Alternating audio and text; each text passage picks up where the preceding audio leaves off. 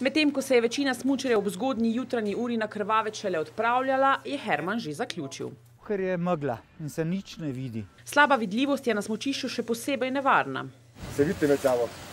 Malo slabša. Ker če se ne vidite, je problem, a ne? Ja, pa moramo malo prilagoditi. Pomeni, da je vidljivost skoraj nična, a ne? Na smučišču nihče ne sme ogrožati drugih, vsak smučar pa mora poskrbeti tudi za lastno varnost. Vse na krvavcu nekoliko povečuje varnost, eh, ker so smučari, predvsem odrasli, eh, dosti samozaščitno ravnani. V tem smislu mislim povedati predvsem to, da si preskrbijo zaščitne sredstva, kot so varnostne čelade.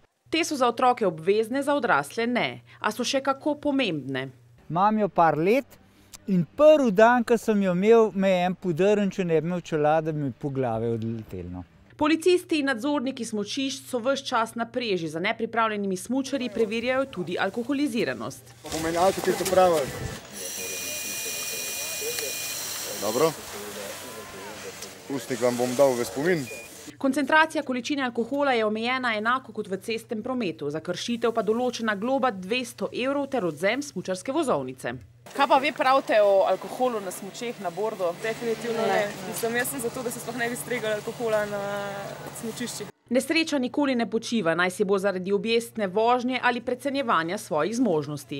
Če je prisoten še alkohol, je verjetno za nezgodo še toliko večja. Zato le pazite, kako in kaj po belih strminah.